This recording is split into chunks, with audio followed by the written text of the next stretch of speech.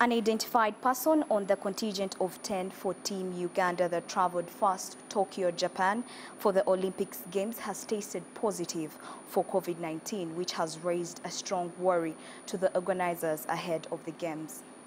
Ladies and gentlemen, the team of 10 that include three boxers and their two coaches, one swimmer, one weightlifter and his coach plus two officials from National Council of Sports in Japan Embassy traveled to Tokyo, Japan on Friday morning. However, on landing at Tokyo's Narita Airport, one of the contingent personnel, who is not identified, tested positive for COVID-19 despite leaving Kampala negative. This has created fear within the Olympics organizing committee both in Tokyo and in Kampala. But the head of the 2020 Olympics Games in Uganda, Beatrice Ayikoru, has assured the nation that everything is being handled well. Situation is under control. It's being handled. Uh, the Japanese officials, uh, they are assisting. Uh, they, they've done the test and the, the results are still positive.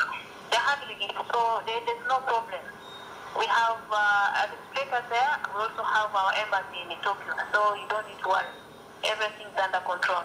The victim and the rest of the team are under hotel isolation and waiting for further testing and results. The contingent of 10 made Uganda's first group to storm Tokyo ahead of the Olympic Games, and Uganda became the second country to enter Japan for the Games after Australia's softball team. Protocol is very clear. First, they asked whoever goes to Japan has to be vaccinated, and we've done that for the team that went and also for for any other that to go to Japan. That uh.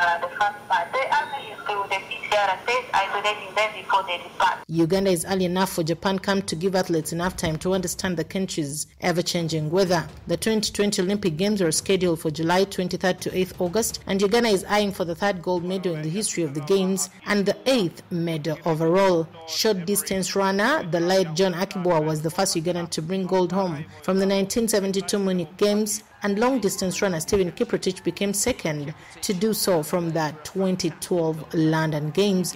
Report compiled by Ramadan Kakoza for the news. Abel Kirui came home second.